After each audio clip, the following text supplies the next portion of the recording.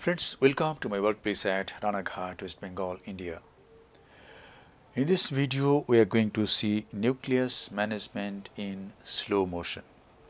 Nucleus management will be demonstrated in 50% of the normal speed, that is half of the normal speed.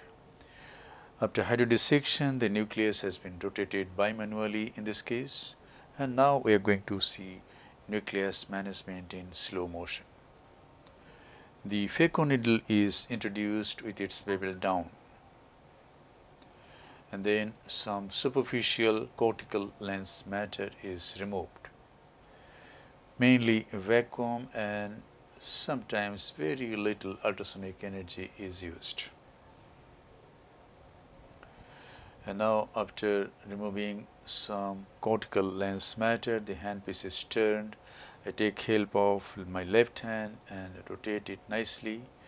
And now I am going to employ my technique, the submarine chop. The tip is buried just in front of the main incision. It goes through the substance of the nucleus just like a submarine moves through water and then it goes near the opposite equator. The chopper supports the anterior surface of the lens and a nice crack is obtained.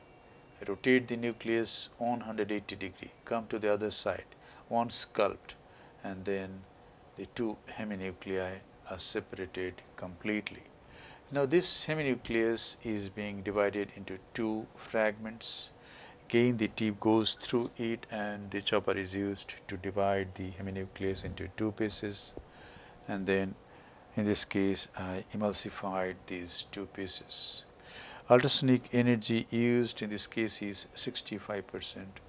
Flow rate is 45 ml per minute vacuum is 450 millimeter of mercury. And I am using this setting from the very beginning. And this is the other piece, it is being emulsified. And now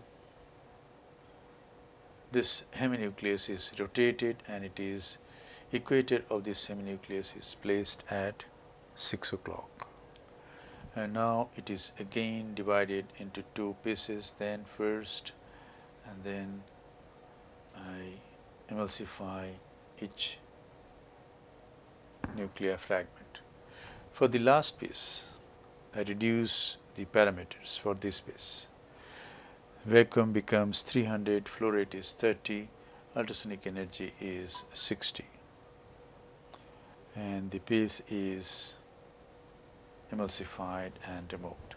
After removing the nuclear pieces, the epinucleus is very carefully removed. Most of the precedents occurs during removal of epinucleus. So we have to be very cautious.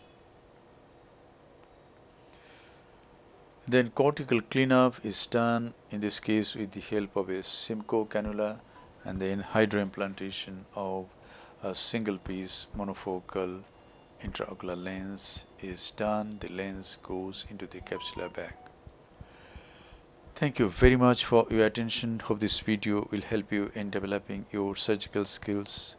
Always try to manage the nucleus by direct chop making a trench and dividing the nucleus into pieces after trenching is time consuming and lot of ultrasonic energy is used.